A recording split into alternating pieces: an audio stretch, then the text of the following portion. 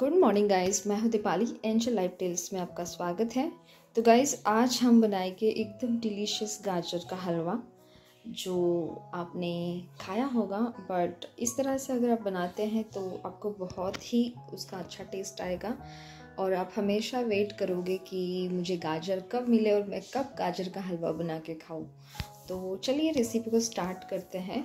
ये एक किलो गाजर है और गाजर कभी भी अगर आपको हलवे के लिए लेने हैं तो ऐसे ही रेडिश गाजर लेने हैं जो सिर्फ़ विंटर सीज़न में आते हैं। और ये बहुत सुंदर दिखने में होते हैं। आपको क्या करना है, आप जितना हलवा बनाना चाहते हैं, उसकी क्वांटिटी में आप गाजर ले लीजिए। ये एक किलो गाजर है, मैंने धोके लिए हैं और आपको एक लीटर दूध लेना है, ओके? ये एक लीटर भैंस का दूध है तो मैंने गर्म करके रख दिया है और अब हम क्या करेंगे? इसका जो ऊपर का छिलका है, ये हम लोग पील करेंगे और उसके बाद मिलते हैं। चलिए। तो हमें इसको पील करके लेना है। और पील यानी आपको कोई भी पिलर लेना है और इस ऊपर के छिलके जो है वैसे एक से ऐसे निकालना है ओके तो जितना भी गाजर है, उसका आप ऊपर का ऐसे हिस्सा निकालें। एक्चुअली इसको ये बाल होते हैं ना, ये खाने के टाइम मुँह में आ जाते हैं, इसके लिए इसको छीलना बहुत ज़रूरी होता है। और साथ ही साथ में ये जो ऊपर का छिलका होता है ना, ये बहुत रफ पार्ट रफ पार्ट होता है तो ऐसे भी कभी भी नहीं पीसते हैं मतलब ग्रीट नहीं करते हैं गाजर। तो आपको इसे ऊपर से निकालना लेना है, निकाल के लेना है पूरा। ओके ऐसे निकालते तो जितने भी उसके बाल वगैरह हैं ये देखिए, ये ऐसे निकल जाता है। तो पूरा हम लोग ऐसे निकाल के लेते हैं, जो भी एक किलो गाजर है वो। देखिए गाइस गाजर हमारे पील करके हो चुके हैं और इतना सारा कचरा इसका निकला है। मतलब एक किलो गाजर में से ये पाव किलो या two fifty three hundred gram, ये पूरा उसका ऊपर का छिलका ही निकला होगा।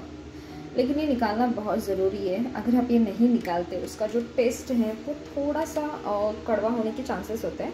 इसलिए आपको निकालना वो बहुत ज़रूरी है। तो ये देखिए हमारे गाजर कितने सुंदर लग रहे हैं। तो अभी हम गाइस क्या करेंगे, जो गाजर है वो छील के लेंगे मतलब ग्रेट करके लेंगे। तो कोई भी ग्रेटर आप ले लीजिए, बड़े से किस बड़े से ग्रेट करिए, छोटे से करिए बट छोटे से करेंगे तो अच्छा खासा वो ग्रीट हो जाएगा। नहीं तो बड़े से उसके जो दाने रहते हैं वो बहुत बड़े बड़े आएँगे तो छोटे ग्रेटर से आप उसको ग्रीट कर लीजिएगा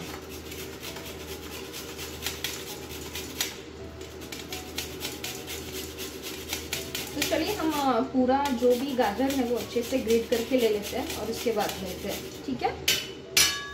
चलिए। गाइस हमारा जो गाजर है, वो अच्छे से ग्रेट करके हो चुका है, देखिए। ये एक किलो गाजर है, हम जब ऊपर का छिलका निकालते हैं तो वो कम हो जाता है। आई थिंक ये 800 से 700 ग्राम रहेगा। उनमें हमें इंग्रेडिएंट्स में क्या चाहिए? गाजर का हलवा बनाने के लिए गाजर चाहिए, जो ग्रीट किए हुए हैं। और गाजर जो है ना, वो बारीक ग्रीटर से आप ग्रीट करिए, क्योंकि कैसा होता है पता है क्या? अगर इसके दाने मोटे हो गए ना तो वो जपाने में अच्छे नहीं है, इसलिए आपको छोटे वाले ग्रेटर से ग्रीट करना है। और हमें चाहिए थोड़े से ड्राई फ्रूट, और उसके बाद हमें शुगर चाहिए। शुगर मैंने बहुत कम ली है, ये 200 से साठ मतलब पाव किलो रहेगा 250 ग्राम रहेगा।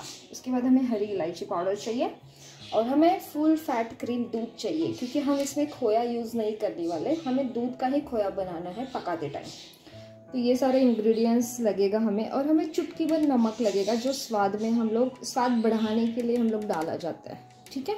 कोई भी स्वीट चीज़ में अगर आप नमक डालते हैं थोड़ा सा तो उसका जो टेक्सचर है या फिर उसका जो स्वाद है, वो बहुत ही इन्हांस हो जाता है।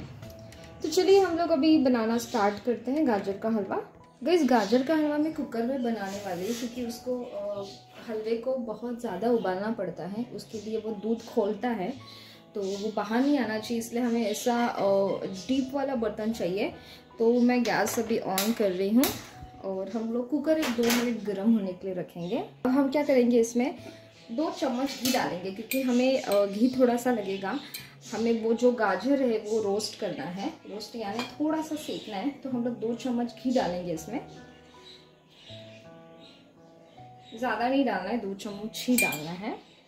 अब हमें क्या करना है, घी हमारा गर्म हो चुका है, हम इसमें डालेंगे जो हमारा ये ग्रिड किया हुआ गाजर है, वो थोड़ा थोड़ा डालेंगे। और गैस की जो फ्लेम है, वो थोड़ा बारीक करेंगे, नहीं तो वो ना थोड़ा ये हो जाएगा जल जाएगा नीचे।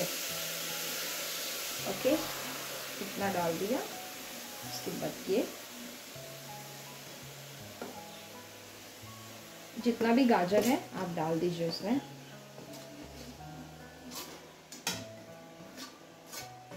गाइस इसकी खुशबू इतनी अच्छी लग रही है ना गाजर की। आ, मतलब खाने में जितना मज़ा आने वाला है उससे बढ़िया और इससे ज़्यादा मज़ा हम लोग बनाने के टाइम करेंगे। अब हमें क्या करना है गाइस हमें अच्छे से इसको मिक्स करके लेना है। ताकि इसका जो पानी है और जो मॉइस्चर है गाजर का, वो थोड़ा सा कम हो जाए। हमें थोड़ा सा इसको ऐसे सेक के लेना है, एक पाँच मिनट। ताकि जो घी डाला था, उसका अच्छा सा टेस्ट इसमें उतर जाए। तो थोड़ा सा हमें इसको मिक्स करके लेना है। तो गैस हमारा जो ये गाजर है, थोड़ा सा सेक लिया है हमने। तो अभी हम क्या करेंगे, इसमें दूध डालें, दूध डालेंगे। और दूध आपको जो है वो थोड़ा डालना है अभी। ये देखिए, अभी आधा दूध डालना है। और बाकी का दूध हमें थोड़ी देर बाद डालना है। जब ये अच्छे से थोड़ा आधा पकना पक के आना चाहिए, उस टाइम हम लोग इसमें डालेंगे। तो अभी देखिए इसका जो कंडीशन है वो ऐसा है।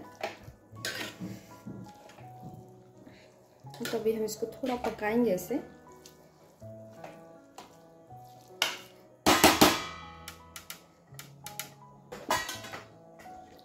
ऐसे हम इसको प्लेट ढकेंगे।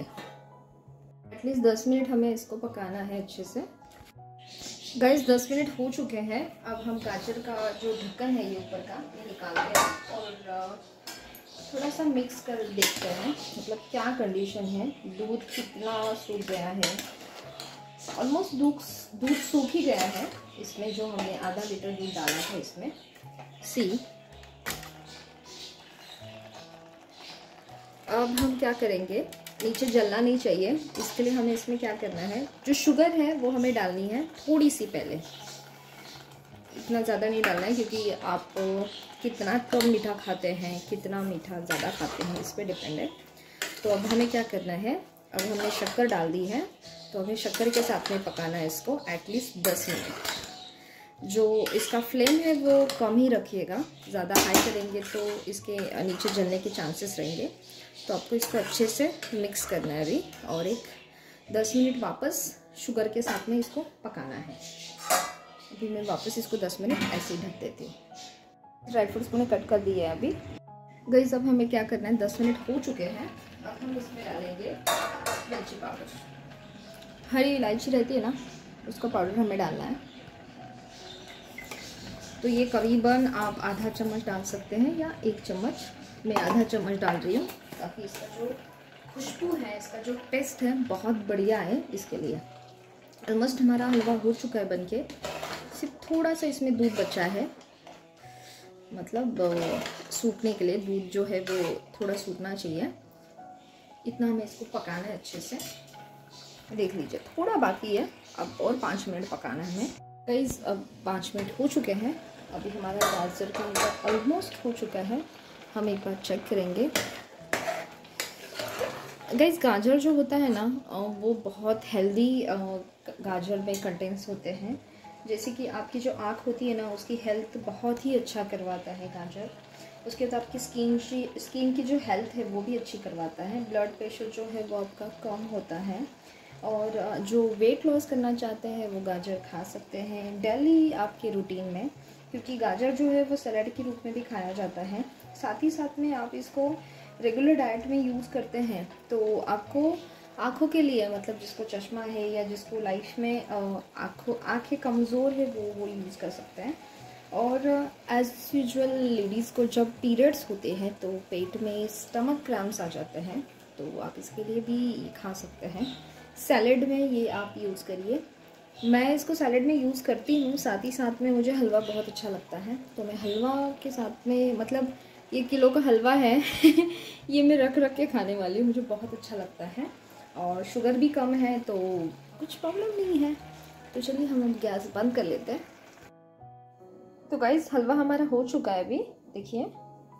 अब हम इसके थोड़ा सा गार्निशिंग करेंगे, बादाम पिस्ता और ये काजू से।